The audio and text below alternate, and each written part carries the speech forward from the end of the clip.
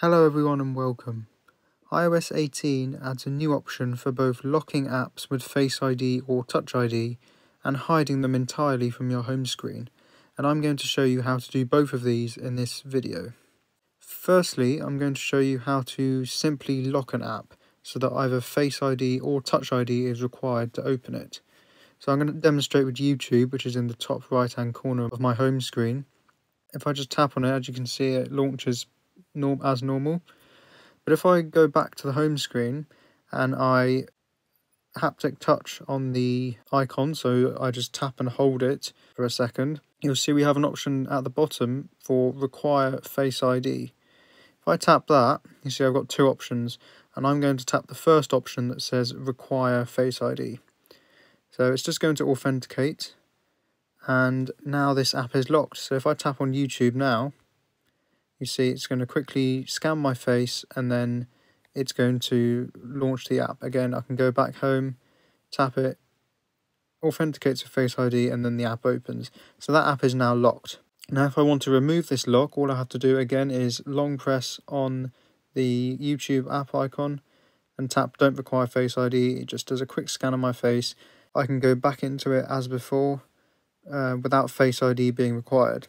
We can also completely hide YouTube from this home screen as well as from the app library so it will be hidden from both places. So to do this I'm going to long press again.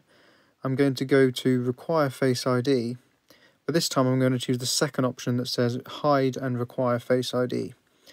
And now I'm just going to get a little splash screen here which will just let me know what's going to happen. So it's going to hide it from my lock screen and within the app library and it's going to put it into a specific hidden folder and I'm also not going to receive any notifications or any alerts from the app if it's locked. So I'm going to tap hide app and you see it disappears from my home screen. Now if I swipe to the right you can see I have got my app library. Just to show that it really has disappeared if I go to the top for search and I search for YouTube you can see I can't find it anywhere.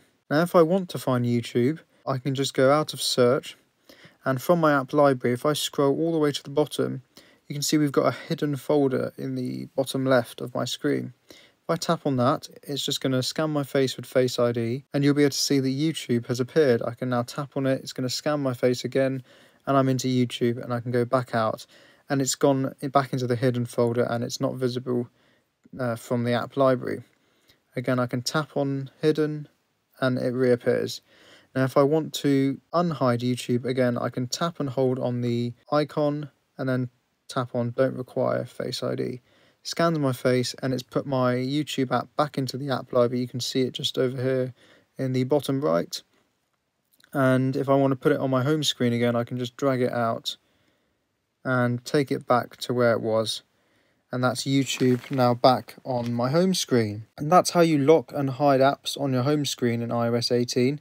If you found this video helpful then please give it a thumbs up and if you have any questions then feel free to put them in the comment section of this video. Please consider subscribing to the channel and don't forget to hit the notification bell icon so you're notified whenever I upload a new video.